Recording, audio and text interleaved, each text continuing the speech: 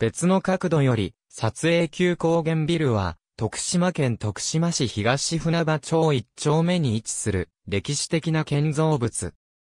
1997年7月に国の登録有形文化財に登録された。また、2010年にはと、串間市民遺産にも選定されている。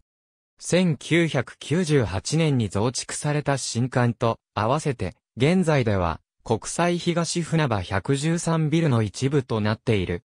石油と食用油の卸売業を営んでいた、旧高原商店が1932年に建てた、鉄筋コンクリート3階建て、延べ194平方メートルの旧高原ビルは、ドイツ製防火窓やロマネスク風の装飾などに特徴がある洋風建築で、完成当時は、阿波農工銀行の本店として利用されていた。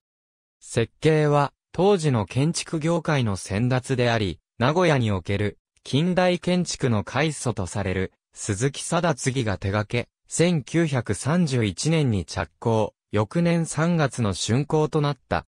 当時の徳島市における鉄筋コンクリート作りの建物といえば、徳島県庁、徳島市役所、銀行、百貨店のみで民間にあってはこの建物が初めてであったという。1945年7月4日未明に徳島市を襲った徳島大空襲により、同市のほとんどが焼け野原となった時、高原ビルとわずかな建物が奇跡的に残っていた。今も建築当時の装飾変わらぬ旧高原ビルは窓ガラスに空襲時の耐火による熱割れや縦横に走った亀裂が残るなど戦争の悲惨さと凄まじさを伝えている。1997年に高原ビルとして国の登録有形文化財に登録された。